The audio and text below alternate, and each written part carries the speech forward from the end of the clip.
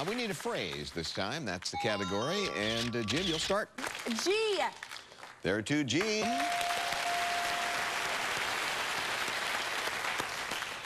I want an L. All right, all right, all right. There's one L. R. One R. Buy an E. Mm-hmm. Two E's. T.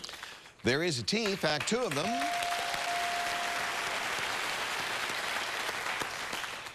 D. There's one D. Like to buy an I. Two I's.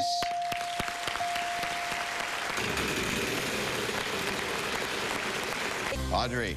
B. One B. All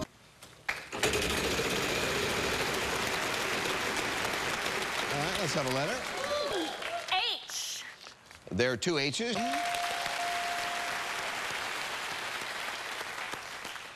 I'll solve the puzzle. All Pat. right. That's it.